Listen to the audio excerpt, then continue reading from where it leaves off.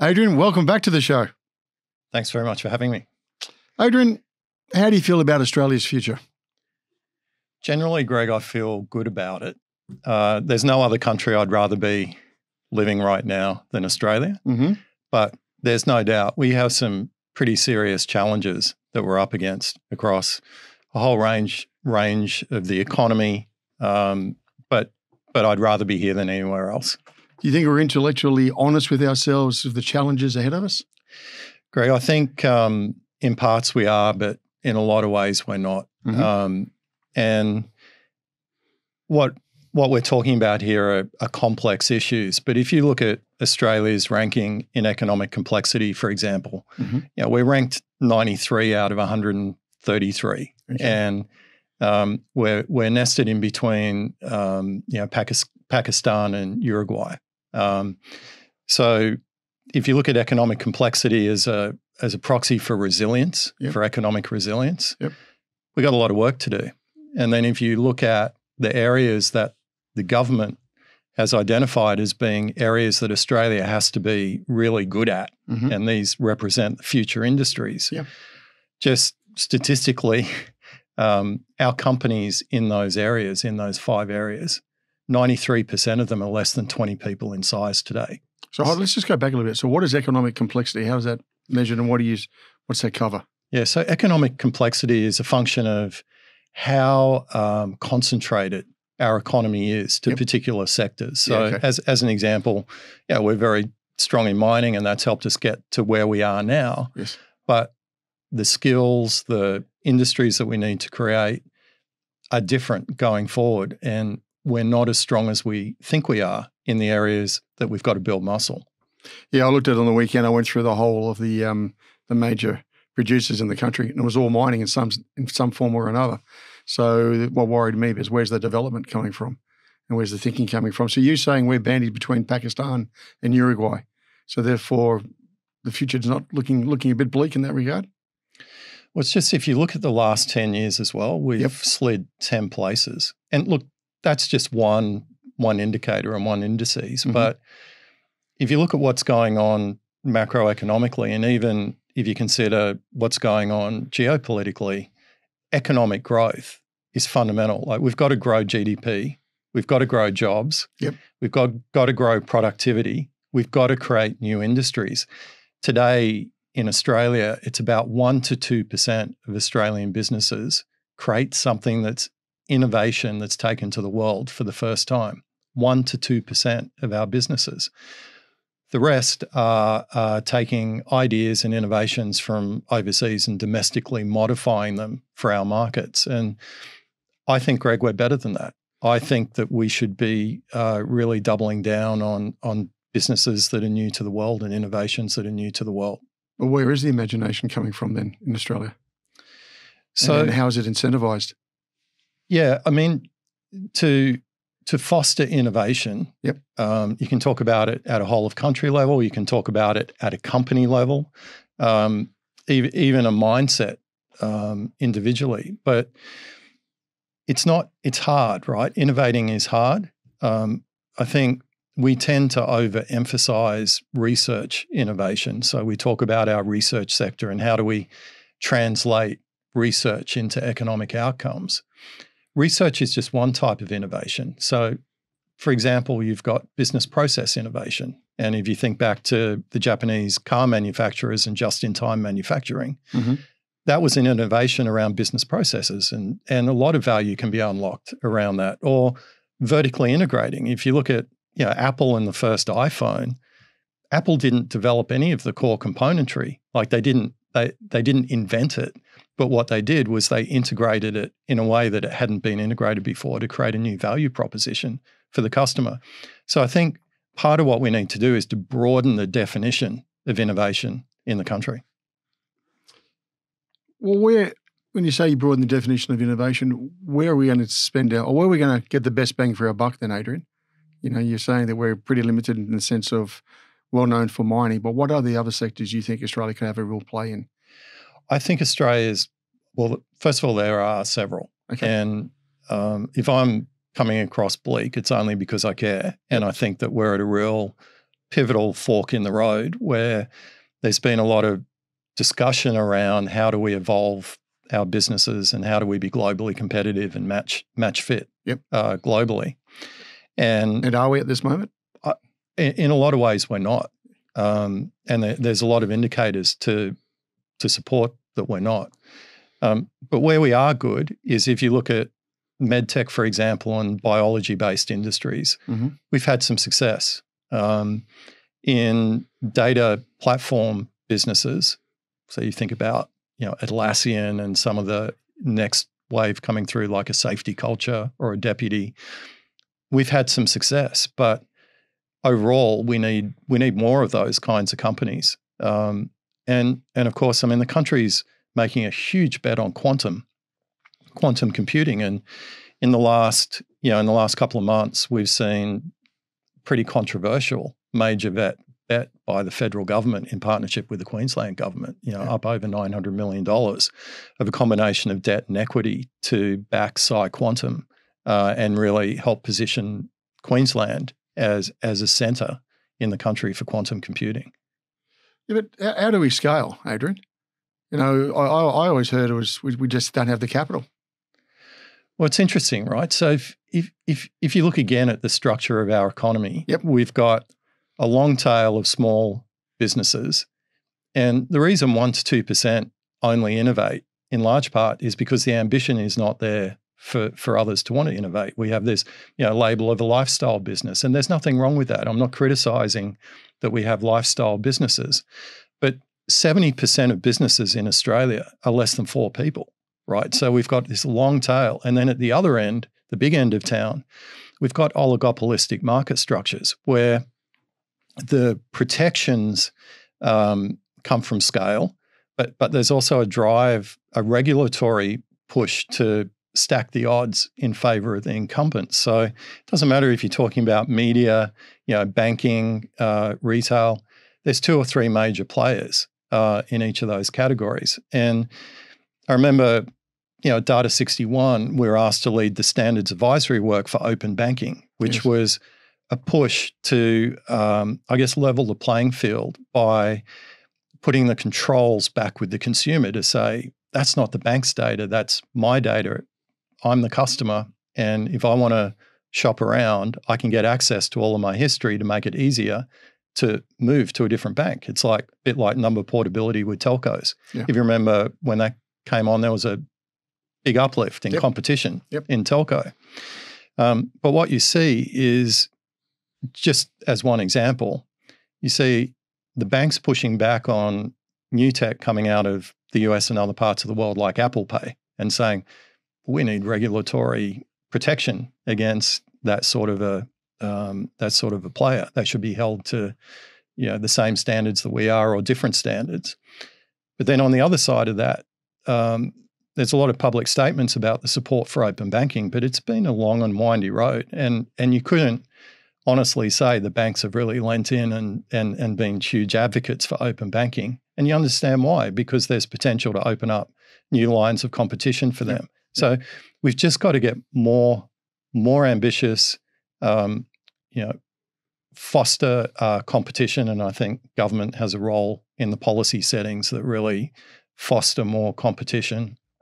And then in terms of capital, there's different kinds of capital, Mhm. right? So you've got, if you think through the life life of a company, you've got angel. Like if I'm starting a company, I've got angel investors, high net worths. Then I'm moving to uh, early early stage venture capital. Then I'm moving to uh, capital that's really targeted towards scaling a business. Then we've got another bucket of capital called private equity, um, and then we've got the public markets, and and and then you've got debt. And an ex- example of uh, you know growth in, for example, private credit, um, so new new sources of credit. So the thing I'd say across all of that is Australia's been very good at private equity. Macquarie, Bank is, you know, we talk about innovators. I think Macquarie Bank is an absolute exemplar of, of an innovative company that pioneered, pioneered infrastructure investing um, and, and did it with a global mindset. and and effectively created a new new asset class uh, and demonstrated that money could be made in that asset class. So we're very good at private equity. Historically, we haven't been so good, you know, at venture. Um, and you had firms like you've had firms emerge like Blackbird, uh, Airtree, yeah. that are more in the style of a US venture capital firm, mm-hmm. and the returns from those have been been pretty good, um, particularly Fund One, which included Canva. Uh, that that that was you know exceptionally good for Blackbird. Um, but we need more, and there's actually a risk right now that there's a reflex away from venture capital just at the time uh, that we need it. And then really, the government, and I commend the government in this. I'd argue that the check's way too small, but establishing the National Reconstruction Fund as a source of concessional capital to help Australian companies grow and scale and get access to capital. And that's really a counterbalance to the US CHIPS Act, um, that, that program, or the Industry Growth Program, which is identifying high growth companies and again providing concessional capital.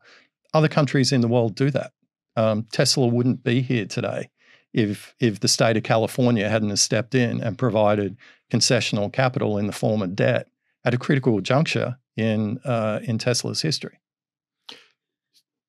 You've worked with some of the, you know, some of the best business heads. You've worked in the US. You've worked advising governments and prime ministers. Does Australian executives, those who build building companies, have the mindset to take the world on? Clearly, some do. Like it's it's hard to generalize across a population of leaders. Yeah, there's not many examples that but we have. No, there aren't. And and why the, is that too? Uh, I think if you look at the US, the US has consistently dominated new ways of industry and technology. Consistently. Um, if you go back to you know the internet, all the infrastructure companies for the internet, the search engines for the internet, um, the, you know, initially the browser companies for the internet, uh, software platforms like Microsoft, semiconductor technology, notwithstanding that a lot of the US semi guys outsource to TMSC uh, in Taiwan, which you know we can we can come back to.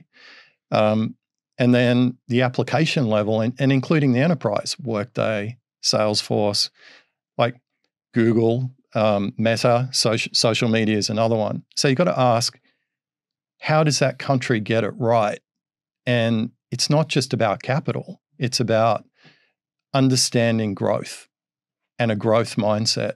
And if you look at the best leaders in those companies, they've fundamentally come up through product management. Right. Now, in Australia, we don't do product management in the same way that the US does. And let me let me explain what I mean by product management. So if you're developing a new product or a service in the world we find ourselves in, and and it's very different to even five years ago. The tools that are now at my disposal as a company to create new products and services and new value for my customers and consequently shareholder value are changing exponentially, right? So, as a leader, I want to have a strong technical aptitude of of what's possible, what's the art of the possible. Mm-hmm.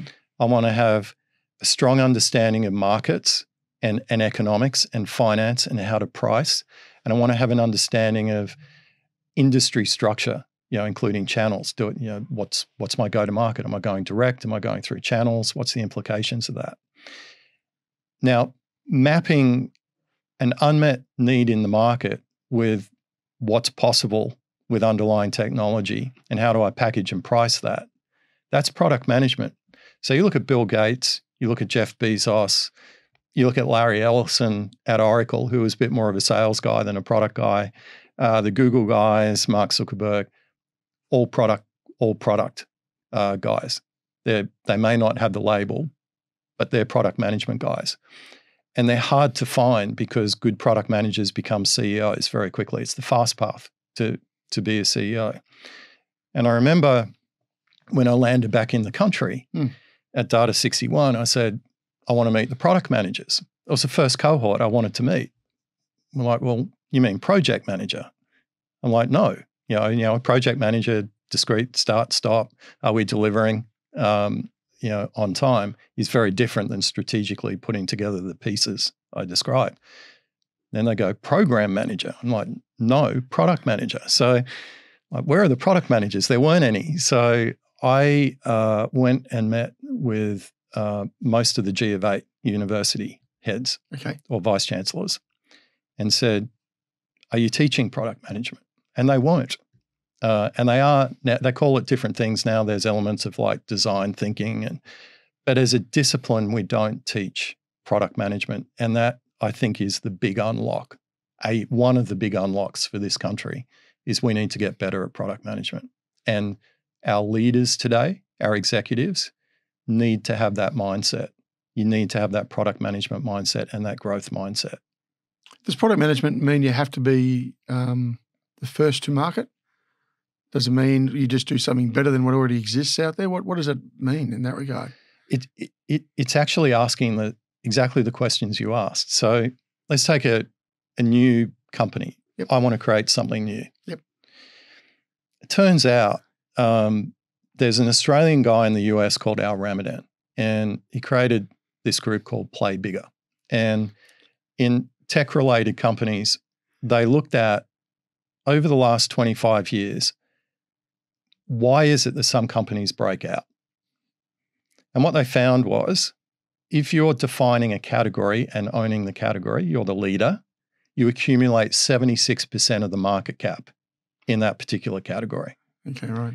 And the rest of the industry fights over the 24%, the scraps, right? And Yeah. it's expensive. And so, so you want to own the category. And product management is about all of that. How do I define the category? Is there an unmet need?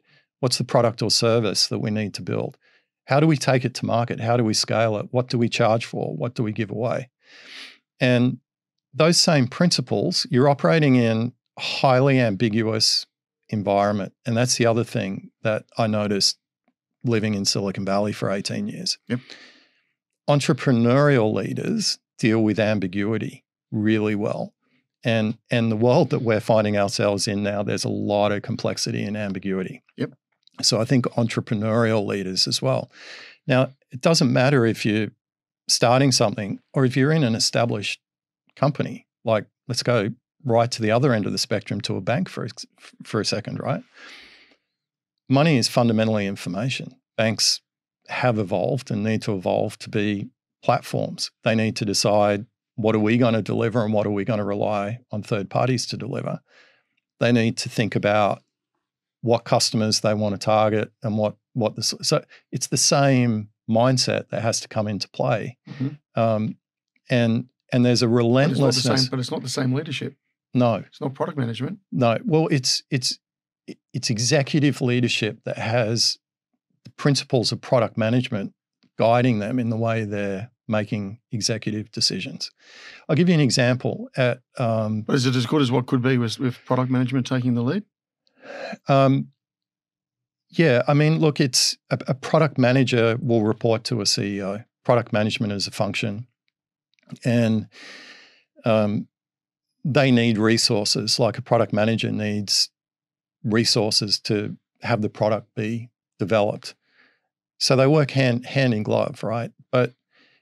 Product management will be part of an executive team in those US companies. If it's, you know, they're probably the most important um, executive around that table is is the head of product management. Yeah, now okay. you've got your general counsel. Of course, you have to be compliant in what you do. Yep. You've got your CFO. Of course, you have to have the right amount of capital and be properly capitalized. But product management is where the where the value, where the shareholder value gets created.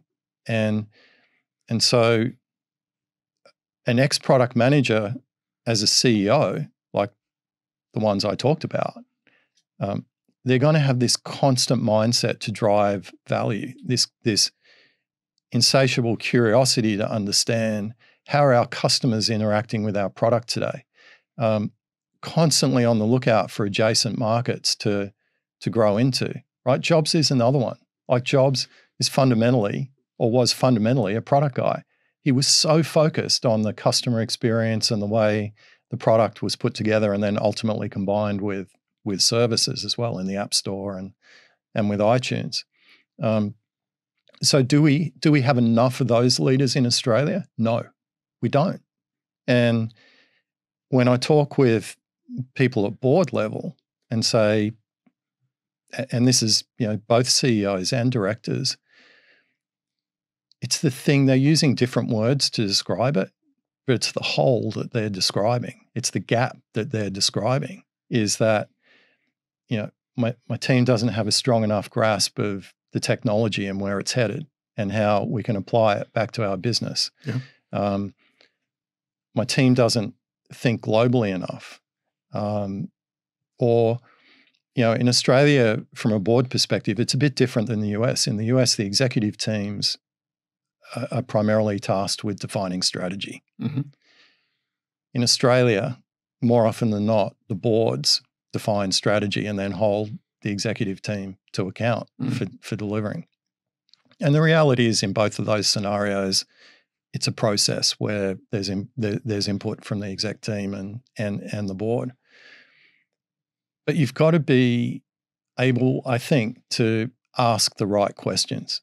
And and just a fundamental tenet of leadership in the world that we're in right now is knowing what questions to ask, knowing knowing where to push.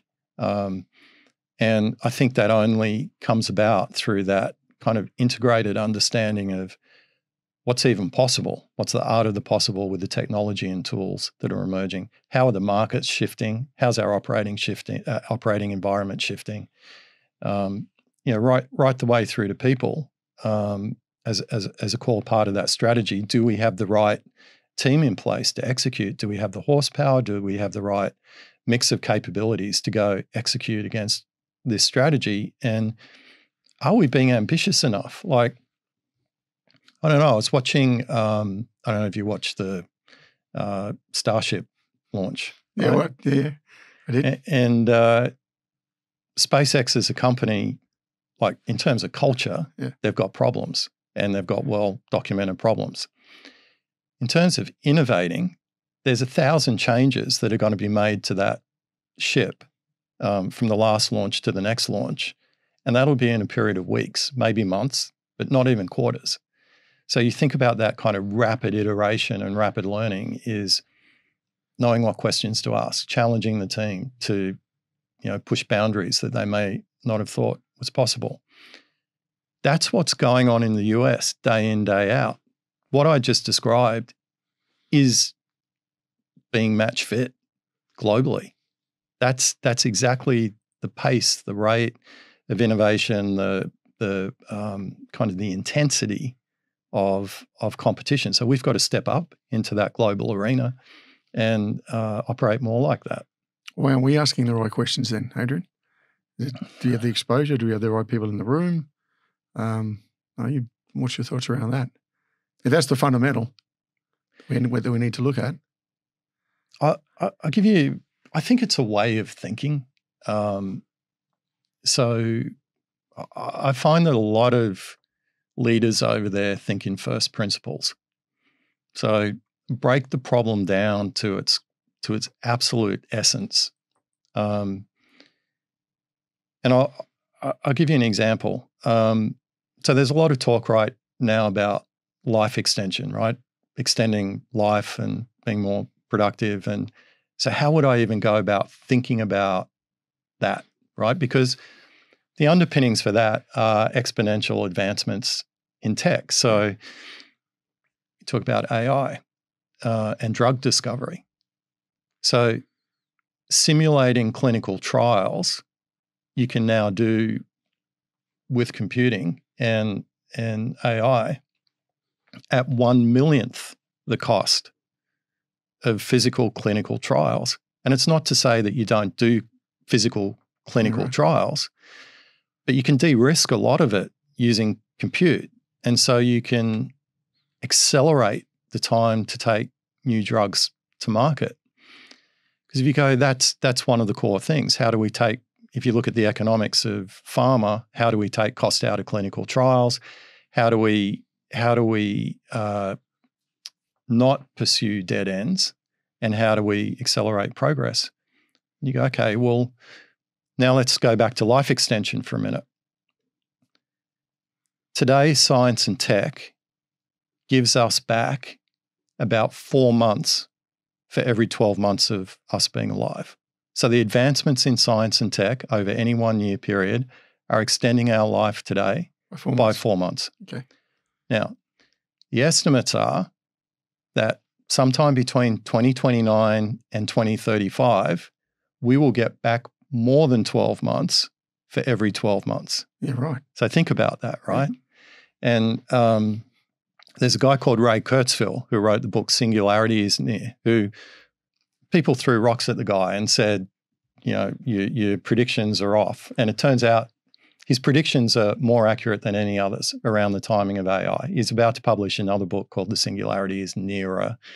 Um, and what he refers to is, you know, escape escape velocity. So you think about, well, when that curve of science and tech innovation crosses over, so we're actually getting time back each year, that translates to much longer lives Mhm. and healthier lives. So what, what what's the implications of that? So the the reason I give that as an example is these underlying technologies and tools are driving ex, driving exponentially uh, are causing and will cause at, at an accelerated rate structural changes in industries. So if we're sitting in Australia feeling, you know, pre- pretty good about our position, Yep. um, As the one of the leading miners in the world. and, and, this this operating environment is changing exponentially around us. Yeah. We need to have a grasp of how it's changing. I mean, you switch gears for a minute. Defense, Yep. right? Our defense strategic review It wasn't the best. It wasn't. and it called out the fact that we had an underlying assumption about our operating environment that was false, that we would have 10 years warning of conflict. Now, I was reading on the weekend in one of the papers that actually there's been a, another national intelligence review that said actually that's collapsed to zero time with um, you know grey zone tactics to disrupt other economies. So the implications of that are profound. That goes from what what military kit do we procure, um, the way we're structured, you know how, how we make decisions, um, and and even even the uh, domain like you know it's um, it may not be kinetic like disruption. It may be non-kinetic. It may be I'm I'm disrupting trust in communications or trust in financial systems or trust in a food system. And so that same dynamic is playing out for business, right? So, but there's not been a let's do a whole of economy business strategic review and understand if our businesses are fit for purpose um, or, or the way we're structured or the way we're thinking. And some clearly are, but others aren't. And even the scale of the ambition. So if you look at Australia, we've got well, we've got two companies in CSL and CommBank that are 100 billion US ish market cap. Two, there's 157 in the world. And now we've got a bunch of companies that have market caps of a trillion dollars. So the challenge that would force really different thinking is to take a step back and say, what would it take for Australia to produce the next trillion dollar company? What would have to be different? And I think that's the question that we should be asking. For the um, benefit of the audience, Adrian, tell us a little bit about yourself because I think last time we, we caught up, we had a wonderful story. You um you packed your bags, went across to the states as a as a very young man, and wound up in Philips. Then you and sort of turned it on its head. Was that is that right? I don't. I didn't turn it on its head. I think that's a, like a massive over, Well, you overreach. But yeah, but you certainly look, I put some forward, some thinking forward. I did. I I um I landed in Philips and and Silicon Valley at a pretty special time, and it wasn't planned. Um, and I'm grateful um, for that experience. But Philips was Apple before Apple. They they did fantastic industrial design and user experiences, and um, it was consumer electronics and a and a healthcare uh, company, health health device, medical device company. Also semiconductors, And not long after I got there, they bought a handset manufacturer off of Lucent, one of the big mobile handset manufacturers. And I even bought Polygram and had had this sense that Okay. hardware, software, and content and services would come together. Um, so what what I did was I had a point of view that all of these things were going to connect to the internet, and and that was at the time that people were just starting to use email and web browsers were just Right. taking off. And Philips had invested three hundred million dollars in these proprietary protocols to do an early version of home networking. Um, you know, connect, connect, connecting equipment together. So it's pretty controversial. You know, like I was 26, I pushed my way to an audience with um, the chair of the board and um, I basically said this thing called Internet Protocol. I think it's going to be pervasive. Here's the reasons why. And we should build an infrastructure to support all of Philips' devices. And uh, in, in the end, he said yes uh, and backed me to go build that business. And, and the board did too. And but but ironically, it was su- such a simple use case. And again, it's this product management mindset. Like had this vision for delivering services over these devices, and the people that were there at the time, who were colleagues, um, were the people that Steve Jobs hired to go build the iPod and the iPhone. Right? So Tony Fadell was CTO of uh, Philips Mobile. He, he he was a, coll- a key colleague um, d- during that period. Um, but the use case was a simple one. It was basically you could deliver software updates over the network to a device, and that took cost out of the business for Philips, and it was a very simple um, proposition. But it was thinking through what does Philips as a company care about? Consumer electronics is a low margin business. Yeah. How can we take cost out of the business? Because that's what's going to resonate with the board. And all this potential of new revenue streams was harder to grip up with that board. It was harder, uh, understandably so. Um, but it was an amazing experience, and um, we we went on to build that. what was what was the learnings there in the sense the exposure to the board? Because boards, a lot of their pedigree on those boards is very different to the boards we see in Australia. You touched on boards a little while back. But The composition of the US boards, particularly the top US companies, is predominantly ex CEOs, and in some cases, current CEOs. Yeah, that's right. And well, Philips was Dutch, um, but but that's right. I mean, if you look in the US, this is something we don't do. Like in Australia, and when I talk with people here, directors and executives, they acknowledge that it needs to change. I hear it consistently. It needs to change. What the structure, the The- composition, the, the composition. We Right, need we need more current CEOs and operators sitting on boards. And the reason we need that in anything that's tech related, and you could argue that every company has to evolve to be a technology company. I don't, it doesn't matter if you're a media company, you're evolving to be a technology company. You're competing with Netflix. Yep. If you're a bank, you're competing with Apple Pay. You're evolving to be a technology company. In fact, you fu- fundamentally are a technology company. If I'm a you know hospitality brand, I'm fundamentally a technology company because what I care about is the service I'm delivering to my customers. How do I acquire customers? Um, I'm fundamentally a technology company.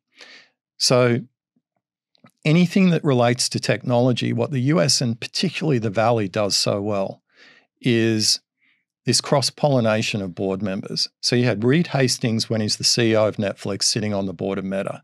You have um, Eric Schmidt from Google sitting on Apple's board, yeah, well, right? yeah, okay. And why do you do that? Because of the diffusion of knowledge, because it's happening so fast. Like the changes are happening so fast.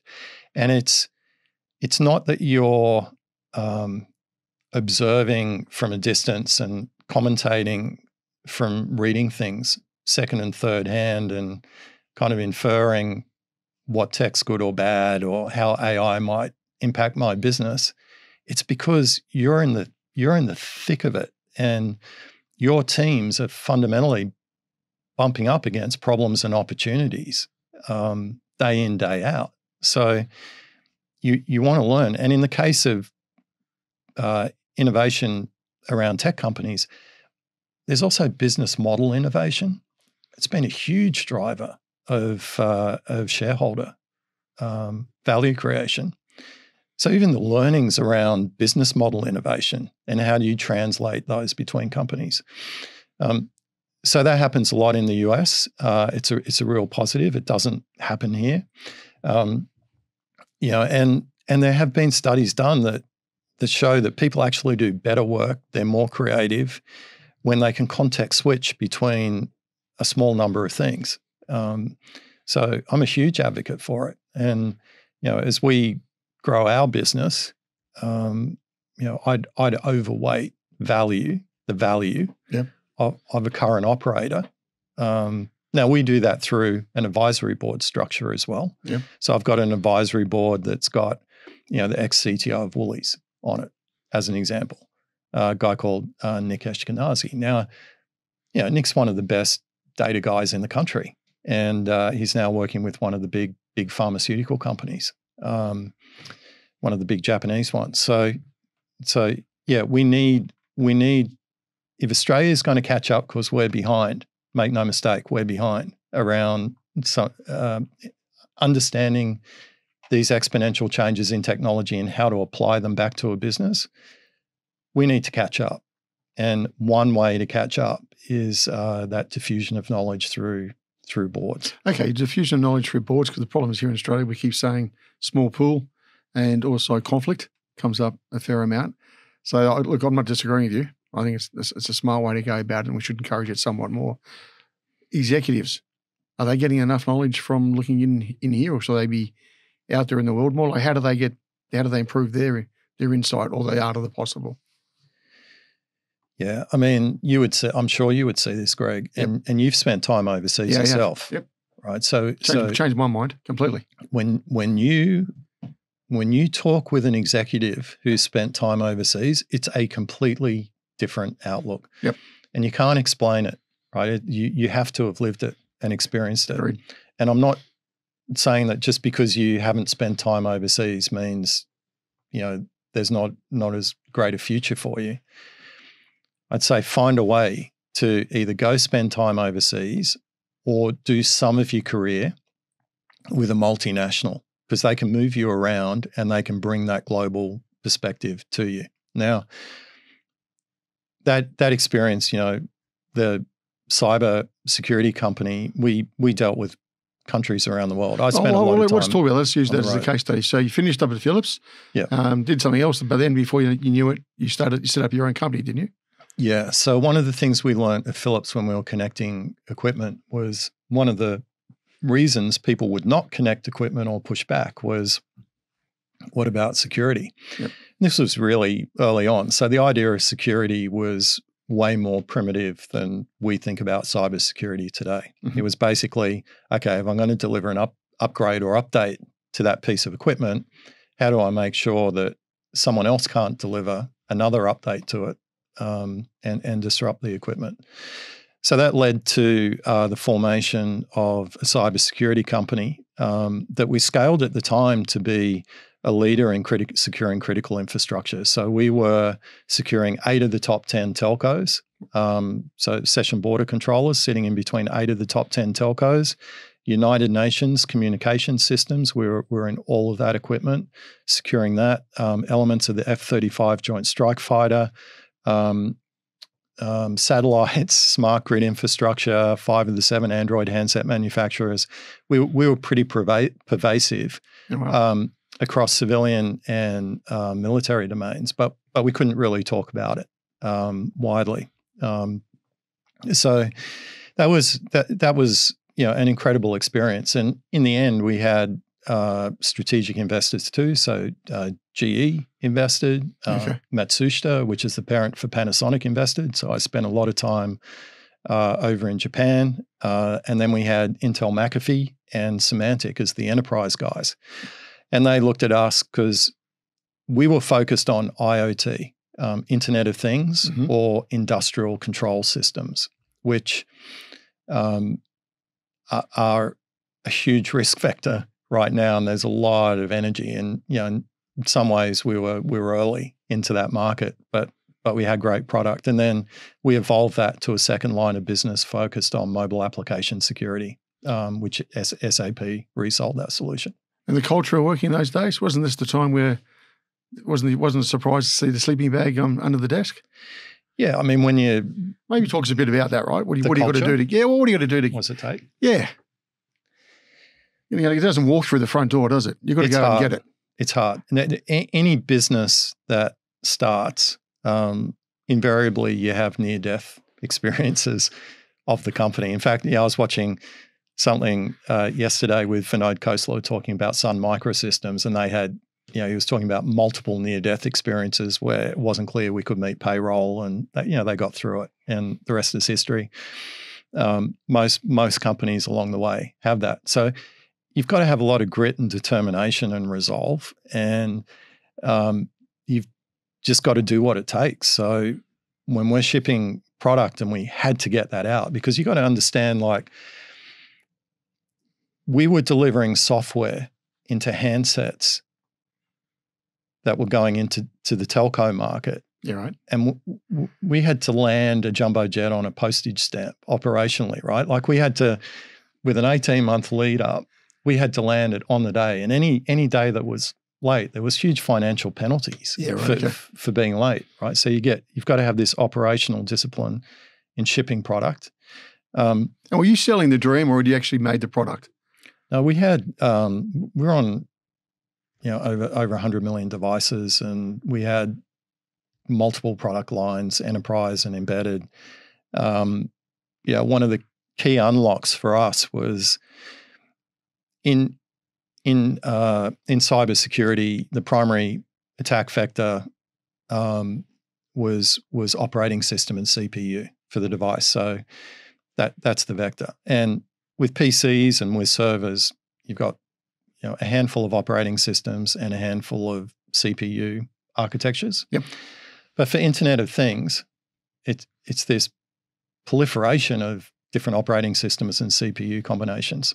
So I had a brilliant co-founder and CTO who built an abstraction layer that meant that we could port our software on top of this layer that could integrate with 2000 odd combinations of operating system and CPU. And that meant that as a, a- original equipment manufacturer like a Panasonic or a Philips, um, no matter what the form factor was, whether it was a medical device or, or a mobile device, and if the environment was different, you could use the same software run, running on top. So there's a lot of innovation in and around that. Uh, and then more innovation in terms of, you know, how, how do you make things really high performance and small footprint and uh, make them in a way that they don't consume batteries, uh, battery life or power.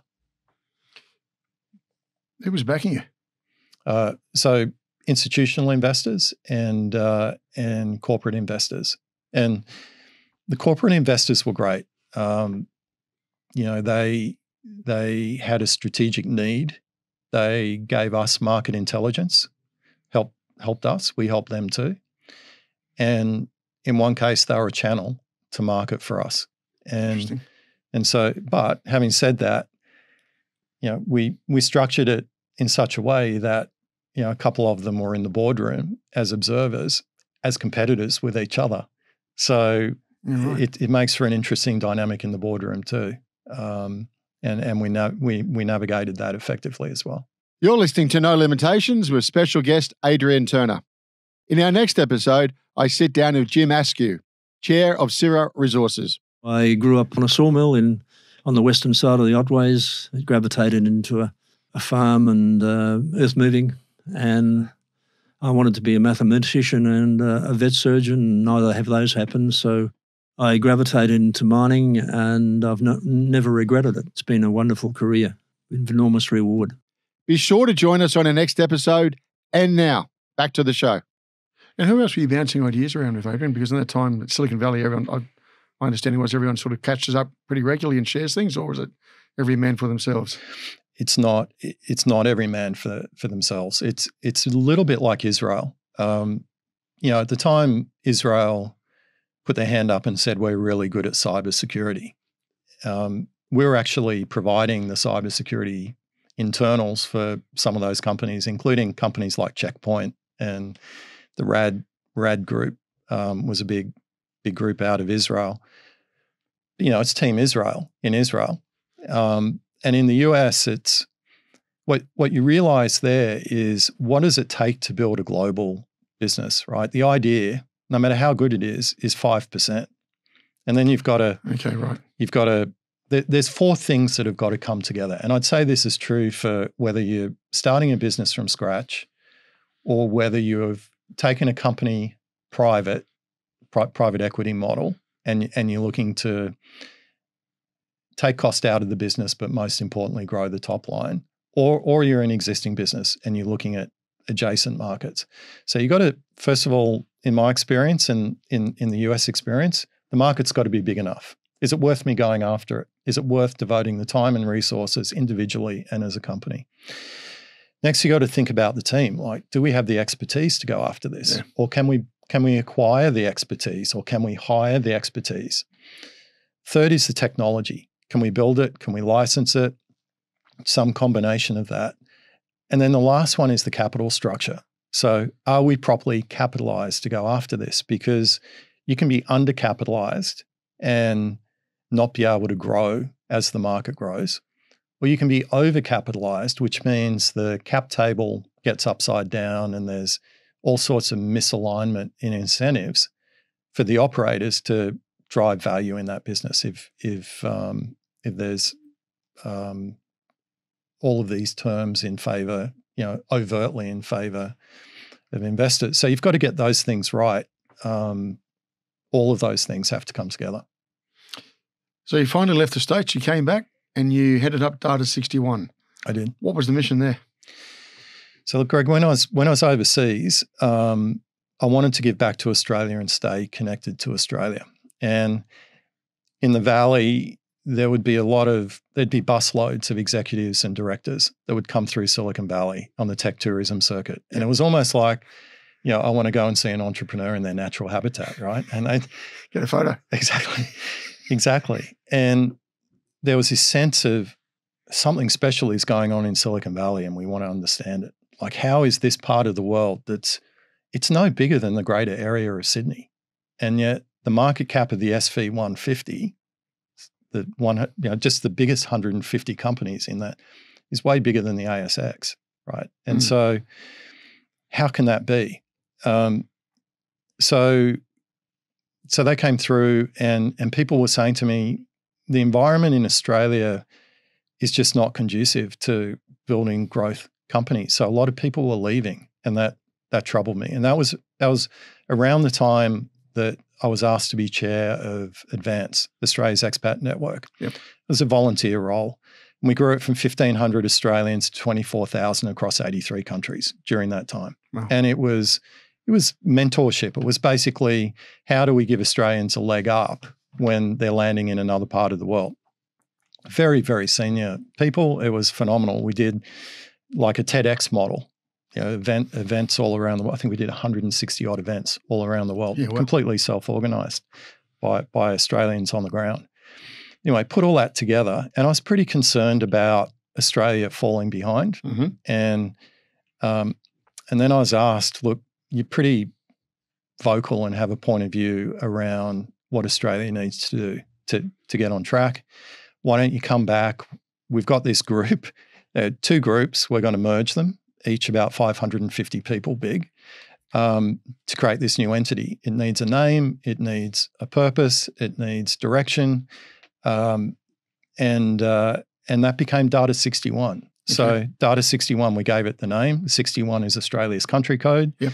Um, we we uh, we merged the two organisations, and uh, and actually, with a product management mindset, we completely evolved the model from a re- so I'm not a PhD, so I was brought into this role because of my operating experience and my commercialization experience. So looked at it with first principles and said the problem here is that the research is not finding its way out of the lab. You go, well, why is that? Are we doing the right research or focused on the right domains? So that was part of the challenge. But the second part of the challenge is it's hard to translate research into a prototype into a product, into something that can be taken to market. And that gap is product management that we were talking about before, but it's also engineering. So part of the organization had a small engineering outfit that was doing rapid prototyping. So I doubled down with the team on engineering and product management. And then the second thing, or the third thing that we did was said, all right, if we want to go and solve the hardest, you know, most challenging problems, we need the best talent. So we've got to create the environment where the best can do the best work of their career. And we're not we're, we're not going to be able to hire all of the people that are needed. So instead of thinking of ourselves as an institution, why don't we think of ourselves as a network? And we'll assemble the team from ourselves, from universities, so relationship with 31 universities, Mhm. a third of Australia's ICT PhDs under scholarship in Data61. Um, and we worked in the end, um, we completed 600 projects in four and a half years. We worked with 150 corporates and we had a portfolio, some of which was inherited, some of which was created, of 14 ventures with a combined market cap of about $2.5 billion and, and, and growing. Pretty impressive, Adrian. It was an amazing group of people. And I'll tell you, though, that those PhDs were so passionate about their work. Um, that's the thing that really fired me up. Did we convert a lot of that research into an outcome? Commercialize it? A lot of it, a lot of it we did. Yep. Um, and and there's a lot sitting in the lab, Yep. right? So, um, I'd say, I'd say yes and no. Okay, yes and no. Right. So there's different kinds of research, right? There's there's simplistically fundamental and applied. So fundamental research is highly speculative, could take 10 years. Um, you know, and and literally researchers would say to me, Adrian, slide the check under the door, leave me alone, come back in three or four years and and good things will have happened okay. right? Um, and then there's another group that uh, are like, I want to have impact. I want to do something that's going to make a difference, like more immediately. Yep. And and then you have engineers that are, you know, they they want to build product and they want to influence products. So at that time, it wasn't only about translating research. We set a really strong north star, and I'll give you an anecdote. Like early on, uh, so I traveled around and I met the team, and clearly they're all rock stars, right, in their own right. But I got asked to let a bunch of them go um, Okay. in week two. And I said, I'm not going to do that because the ones I let go now, the, the next ones are the ones that we really can't afford to lose. So I held an all hands, uh, got everyone together, and I said, I've just been told to fire, you know, effectively fire 100 of you. And I said, no. And I'm going to back you, and you got to back me. And we've got a, you know, $56 million operating hole that we've got to dig out of Yeah, right. and we got to pull together to do it. To do it. And here's here's here's the reason, or here's the thing that could get in our way. I said, I've traveled around. You, you, you're all rock stars. No one's playing as a band. So right now there's a pyramid, and you've put yourself as the researcher at the top of that pyramid, and then you've got a support team, and then you've got an organization which is like the umbilical cord for cash. Um, and we've got to turn that pyramid upside down. And actually, at the top of the pyramid, we've got to put the country. We're here for the country. And we've got to create a purpose that says, actually, what we're here for is to help Australia digitally transform, create new tech based industry as well. And, and then it's about the organization, Data61. And then it's about the team. And then it's about the individual. And if we invert that, we'll build reputation, trust, brand, and and we'll have more support to do larger projects.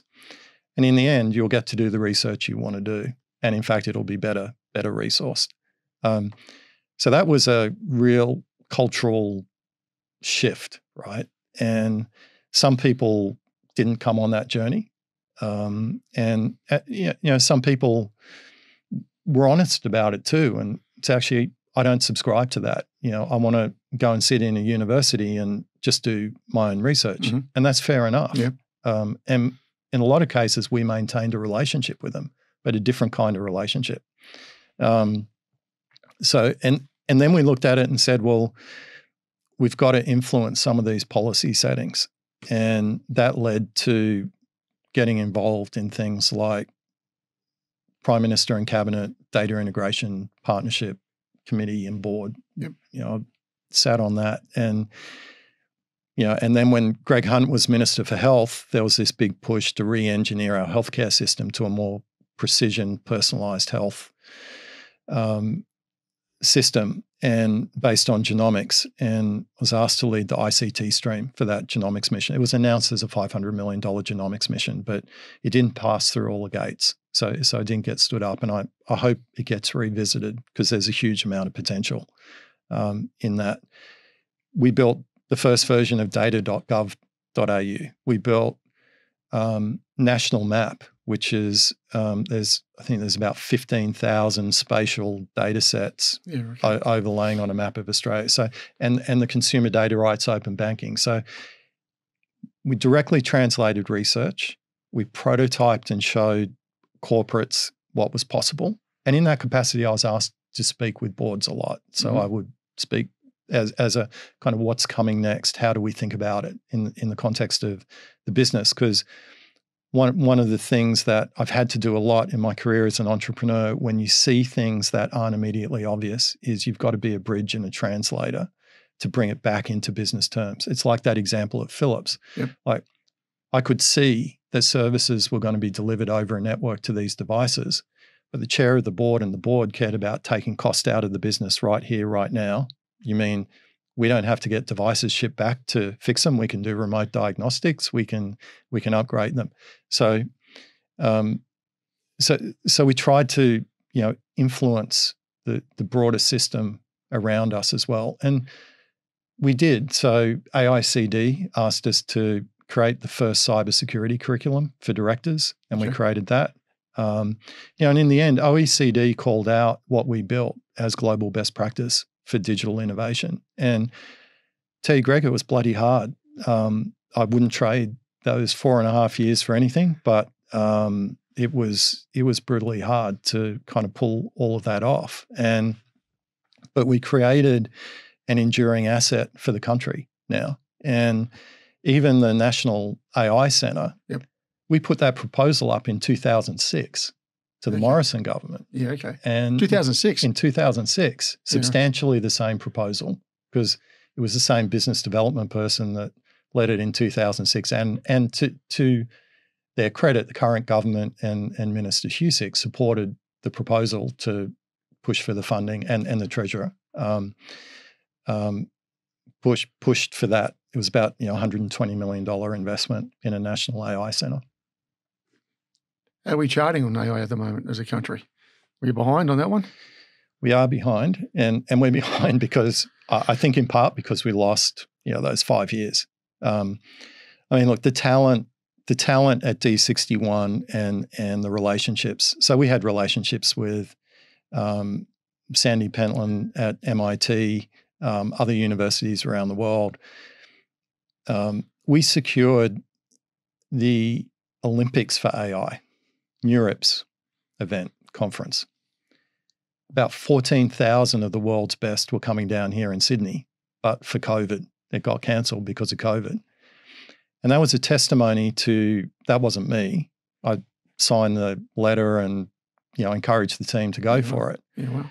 But that's the caliber of people that we had inside the organization and connected to the organization to be able to and, and it was into it was it was like it literally was like the Olympics. There were other countries competing to host it, and uh, and we got it. And unfortunately, because of the lags and the lack of commitment from multiple governments, a lot of that talent's left the country. It's sad. Not the first time, Adrian, unfortunately, is it? No. Now, I was going to ask you what's the next big thing, but I think you've already started that in your um your new business, which is ExoFlare. You want to sort of share us about the concept, what you're trying to take on there? Of course. So when when I was involved in that national genomics mission, Mm.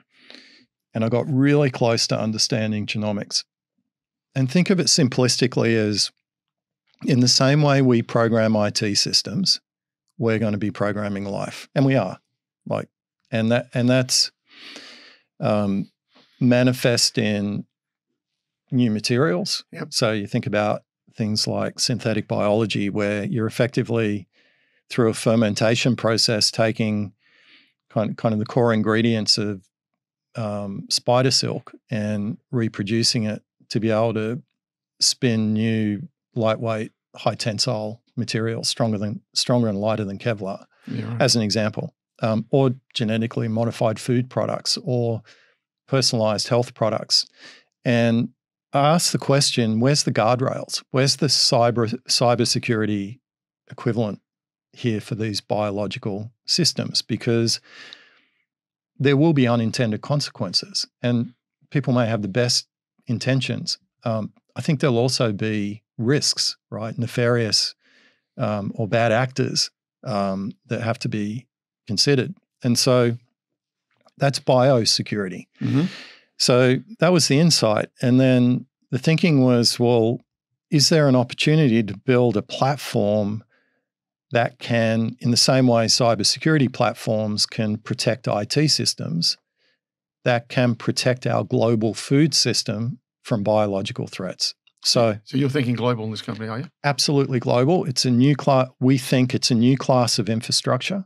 And if you look at the big cyber platforms, so you know, Palo Alto Networks market cap 110 billion dollars, CrowdStrike 75 billion dollars, um, you know, Zscaler, Fortinet. That there's a bunch of others. Um, we think that biosecurity as a category will be as important as cybersecurity. Now, it may not be as big because the threat vectors for cyber hit everything and every industry and everyone. Yeah. Um, and and in, and what we're talking about here with biosecurity and protecting food systems from biological threats. Um, the global food system is a $10 trillion a year. Well, it's actually more than that, depending on, there's some numbers ranging from kind of 10 to 14 billion. It's 16 to 20% of, uh, sorry, trillion, Trillion. and 16 to 20% of GDP Yeah, right. Okay. is uh, so it's a so it's a huge thing, right? Yeah. And part of it as well is in the cyber world, um, and even in the Data61 realm.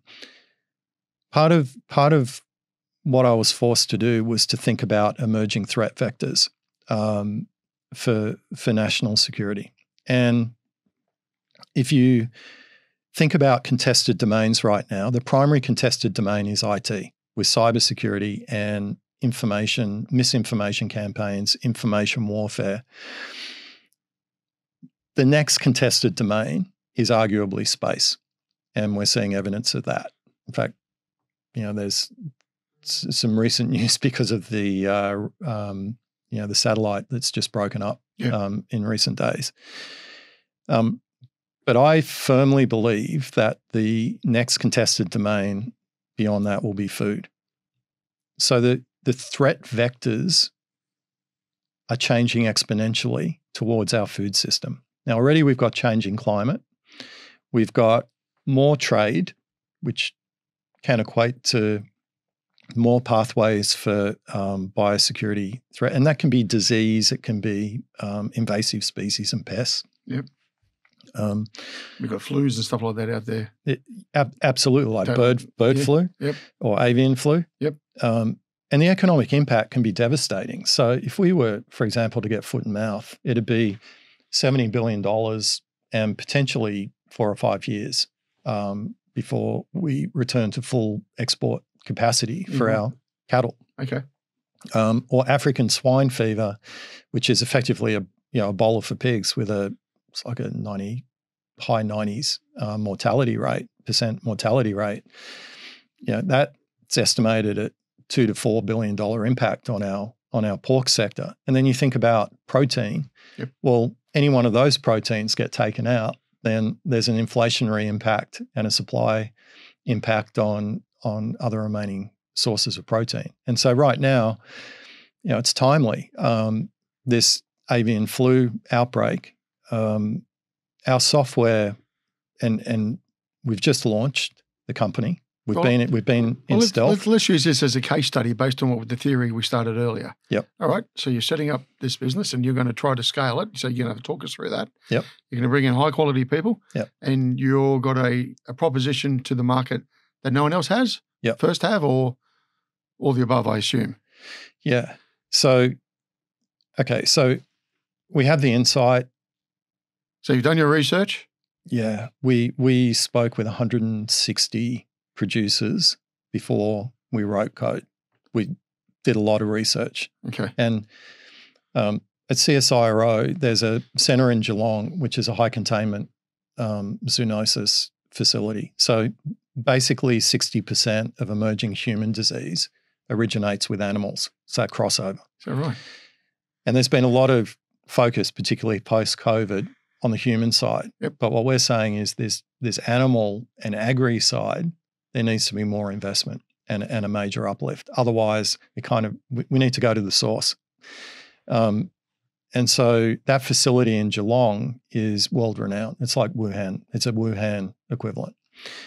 Um, so I spent time with the guy at the the leader at the time was Trevor Drew, very respected globally in in this area, and said, "Convince me that this is not worth doing. Tell me, tell me that this is solved."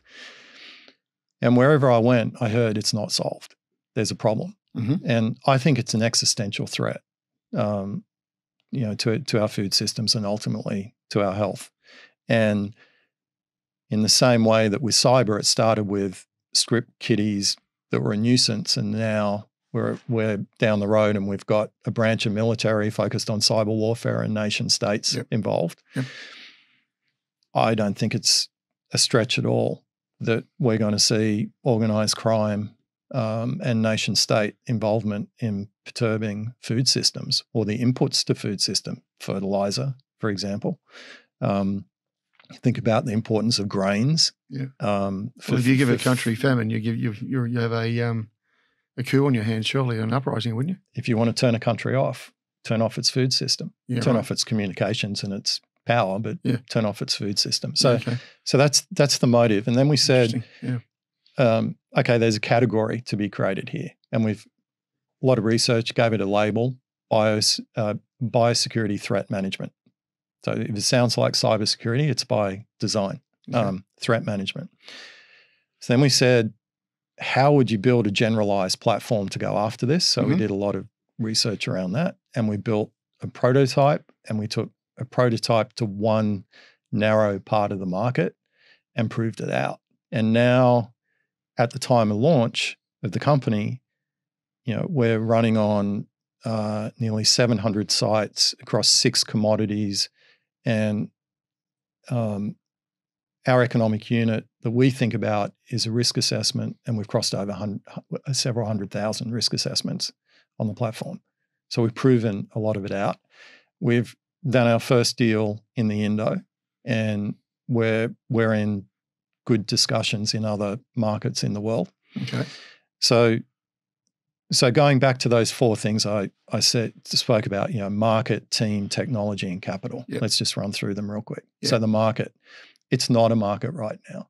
Like You're Gov- creating you're creating the market, eh? we're creating the market Okay. because government fundamentally solves a big portion of um, biosecurity. In fact, our whole national system evolved about 10 years ago from quarantine, Yep. which was keep everything out at the border, Yep. to it's a shared responsibility. Biosecurity is a shared responsibility.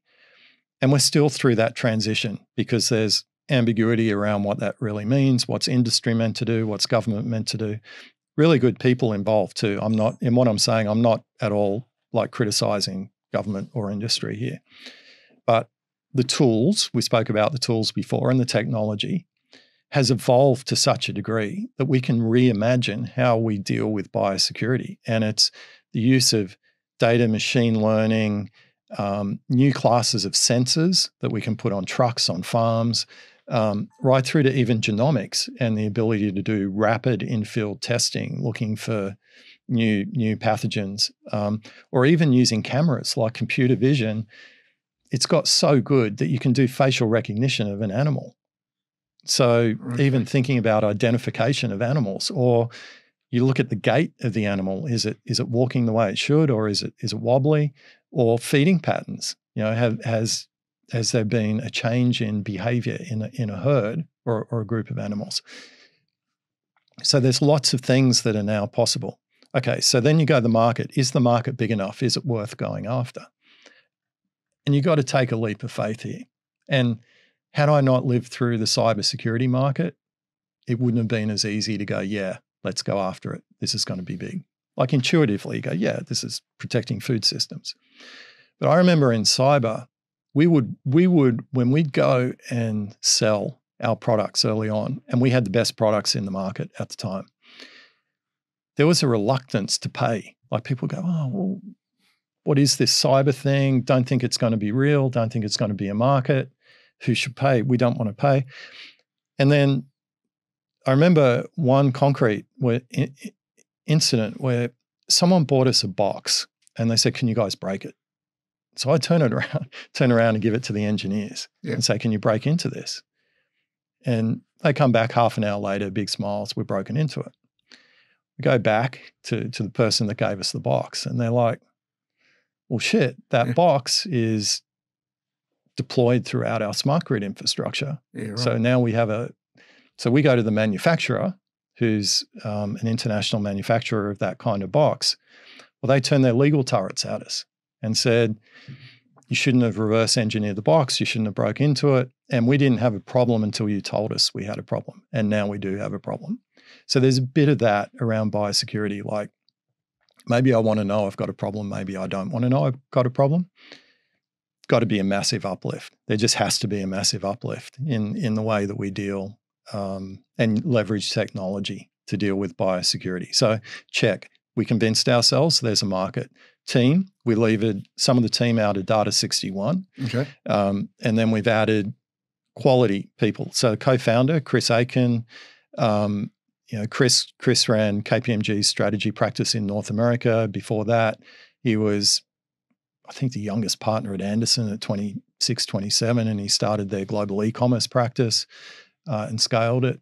Um, CTO Richard Webby was CTO of uh, Disneyland and ran technology for Disney theme parks, okay. as well as CTO for Scentre Group. And you go, well, that where's Disney fit in? This is the first first order principles thinking, right? You go, what do you need to solve for if you're going to solve for biosecurity on a farm and in, in a value chain?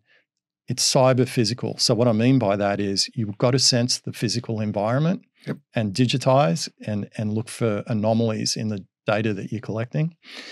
And Richard led the use of cameras for crowd control across 47 million visitors a year. Um, and the Magic Band, which is the RFID wristband that pays for things and open opens doors. Well, a lot of cattle have RFID tags as well. So we said, that's a match, right? Like this is the guy that we want. And I, I knew Richard with both Chris and myself. I met Chris on the advanced board okay. and Richard sat on the advanced board too. So we, we knew each other. And then we've added Andrea Koch, who most recently was on the board of the National Farmers Federation and led the development of their farm data code, which is, you know, again, you think about data as a real asset. And this is coming back to Australian companies as well. Mm-hmm there's value in that. And the idea that you've got these you know, big global platforms that um, assume that it's their data versus the farmer's data or the transporter's data or the processor's data. So the farm data code is applying principles around data ownership.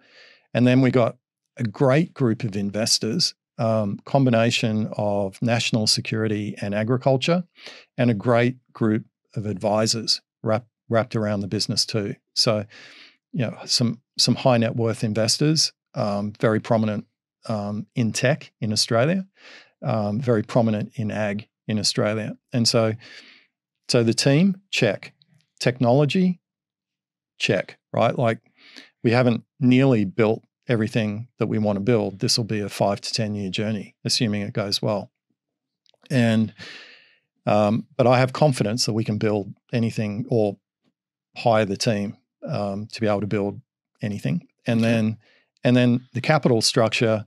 You know, this has been real learning for me. Like the fundraising process in Australia, very different than the US, Okay. just in terms of um, how long you know fundraising can take, and um, you know there there tends to be in Australia. Uh, pri- th- this is not just us. This is you know talking with other entrepreneurs.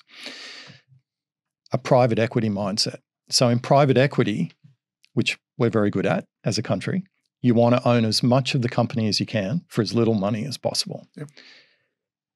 In the venture capital model, when you're creating a new company, you know, from from scratch, you actually don't want that mindset. What you want to do is you want the early investors, they set a precedent. Everyone who comes after them goes, Well, they got that term. I want that term. So I'll give you a simple example. There's um, a liquidation preference, right? So an investor, let's say an investor invests a dollar with a 1.5x liquidation preference. That means they get a dollar, you know, they're guaranteed a dollar fifty out, the first dollar fifty out. So at the beginning of a company's life, it's probably okay. But then as you get further along and the next investors come in and the checks get bigger, now let's say it's not a, a dollar, but it's it's a hundred million dollar check. Yep. And they want the 1.5 liquidation preference. Well, it changes the incentive alignment between the operating team Yep. uh, and and the investors. And ironically, it's actually better for the investors to not have as much ownership in the company early on because you're creating a bigger pie for everyone to share in. And the quality investors will look at a, at a later stage and go, hang on a minute. Um, the core operating team doesn't have enough skin in the game here. So, you know, the, the there's a guy called um, Joe Schoendorf who's I'm like chairman emeritus of um, Accel Partners. So Accel's probably got the best or one of the best IRRs in Silicon Valley, like 28, 29% over more than 20 years. Yeah. And Joe's the guy that backs Zuckerberg. And he's down in Australia a bunch because he sees talent, but he sees an inability to you know, scale uh, in some cases. And um, and so, yeah, they did Atlassian and he, he's down here. So on on a trip in the past, um, I said to Joe, you got to meet me. Like, let's go have a drink. So we went and got a drink. And I said, Joe, what is it? Like, why do you guys have the best IRR? Like, what what factors? And he goes, Well, we looked at everything. We looked at market, we looked at a whole bunch of variables. And you know what it came down to? It came down to the founder is still involved with the business. Yeah, that that vision, that energy, and they may not be the CEO or in the exec team, they're so connected to the business that they're ringing the bell at the IPO. Yeah, okay. And and any time that's happened, we've got outsized returns. And so, um, yeah, so the the the capital structure is really important. And I see a lot of entrepreneurs with great ideas, great markets, great tech, and they've done something that they shouldn't have done um, in their early capital raises that mean no one's going to touch them later on. So they're almost done before they started. And it kills me. And I, I would be on the other end of that in Silicon Valley. And people would come over and go, I've got this great thing, here's where we're at. And go, okay, well, tell me, tell me about your cap structure. And and already, you know, investors would be owning 40 or 50% of the company. No one's going to back that. No. it's just a different model. Yeah. and and i think the good vcs here get that. Um, we're, we're fortunate. We've got a great lead investor and other investors that understand that. Um, you know the blackbirds and AirTrees of the world and square pegs they they understand that too. Um, and it's kind of like i don't know if you remember in the us um, the group Y Combinator that stood up as like an incubator and a feeder. So, you know, Airbnb, Stripe, a whole bunch of them came through Y Combinator. Yep. And Ron Conway, who's often referred to as the godfather of Silicon Valley, invested in my company, uh, the cyber company. And invests in a lot, right? It's like Ron's almost got like an index fund of Silicon Valley startups. Um, but what Ron pushed with Y Combinator was a standardization of angel investment terms and seed stage investment terms. and and did it so that the guys that come after the write the much bigger checks, there's no friction. They look at it and go, okay, standard terms, we're in. So if we go back to the beginning, we talked about Australia being well those to be bold and take the world on. Okay, you're halfway through your story. So you've got the technology, you've got the people, you've got the plan, you've done the research. Yep. You're still based in Australia, aren't you? You're still based in Sydney. Are you really going to take the world on? This has to be a global infrastructure. There's no question about it. So, look, in the same way Israel put up their hand and said, We're really good at cybersecurity. And it was at the time the US understood more deeply the importance of cybersecurity. Israel not only generated new industry, they not only made other parts of their economy stronger, yep. they had outsized geopolitical influence because of that cybersecurity capability. And you could argue that they still do, mm. right? There is no reason that Australia can't be the leader in the world in biosecurity. And where we've got a strong agriculture economy. Yep. We're good at biosecurity. Um, part of that is, you know, we're, we're effectively a big island, and we've um, we've put a lot of emphasis on biosecurity. We were the last country in the world to get hit with varroa mite that that hit us recently. So obviously affecting bees and pollination. Um, we're the last country with avian flu or bird flu, or one of the last countries to to have been hit by it. So we're we're very good at it, and this this will not only protect our agriculture exports and economy.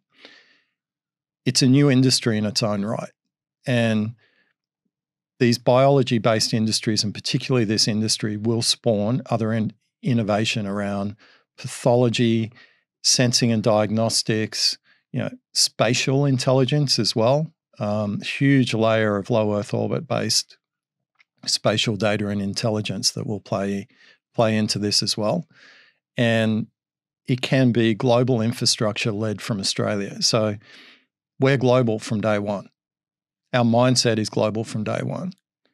I, even though we've just closed the financing, I was on the phone two days ago with with with a firm that I'd like nothing more for them to lead our Series A financing in 18 to 24 months. I was in the US, you know, a month ago yep. and meeting with, you know, leadership in some of, some of the agencies that uh, are very focused on biosecurity or have the remit in the US for biosecurity. Um, we've already done a deal in the Indo. Um, I've been on the phone with parts of UK government as well. Um, there's no question. This this has to be global. And look, I'm I'm under no illusion. It's really hard to do things that haven't been done before, and I've done that a lot through my career. And there's no roadmap. There's no roadmap, but that's the opportunities for us to create and define it. But but it's not like where, you know, even even Google had a different technique for search, but they they were what number thirty or low forty search engine into the market. Um, so, in the same way there was with cyber, everyone goes, oh, actually, this is a market. And then in Silicon Valley, what happened? There were startups popping up like mushrooms all over the place, all claiming to solve cyber, you know, cybersecurity.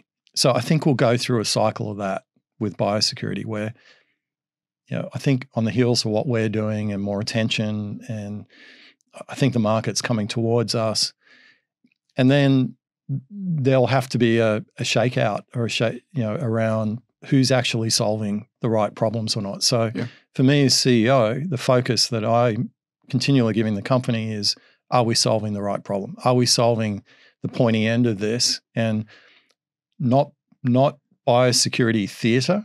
That's what we'd call, called it in the cyber days, where you give this false sense of security to right. people, but you actually go the hard path and solve the problem and and uh, and and invest for the long term, like the hiring decisions, the culture, the relationships. The reason we haven't launched, despite the fact we've had product in market for a couple of years, is we've wired up a bunch of the key relationships. We're we're on a cycle of learning and development that I think is going to be hard for others to catch. We're not invincible. The odds are against us, that we're going to succeed. I mean, they just are for for any company that's starting. But this problem has to be solved, and we may go all the way to solve it. I hope we do. We may go part way to solve it and conclude that we're better off as part of a, another organization that has global reach that can get get there faster.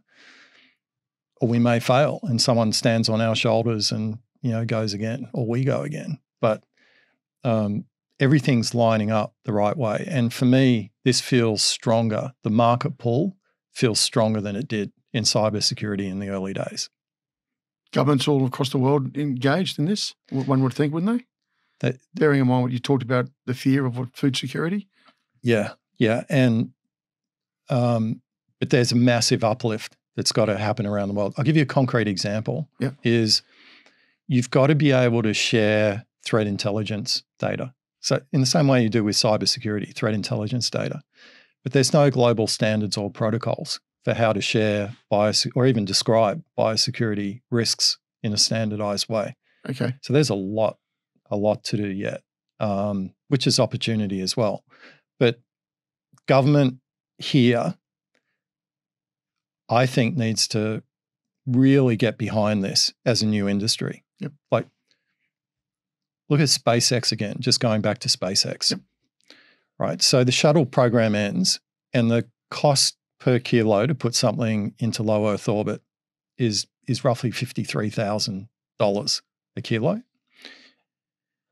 Um, the Falcon Nine is roughly twenty seven hundred dollars. The Starship, when it's um, you know succeeds, um, they reckon about one hundred and fifty to two hundred dollars per kilo. And when it reaches reusable status, about $10 a kilo. Yeah, right. Okay. Right. So the role of NASA hasn't diminished at all in any of this, right? So the lunar mission, NASA's got a, a, a role that's as important as ever. But now they've got thousands of space industry companies that they can draw from to deliver a better outcome. So it's the same with biosecurity. Like if if Australian government and state governments get behind this as a new industry creation opportunity, and arguably we're even better placed in this than we are with quantum because of where we come from and who we are. Yep.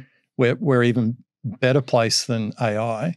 We're certainly better placed than manufacturing solar panels when you know China's flooded the market three times over and Germany's using solar panels for fences. Yep. It's like this is an incredible opportunity for the country. And at the end of the day, the government's going to have a lot of benefit as well because they're going their role's not going to ch- diminish in any way, right? Like there's things that like take border force. There's a social license. There's an expectation that government's going to be there to solve that problem. Um, then they shouldn't outsource that.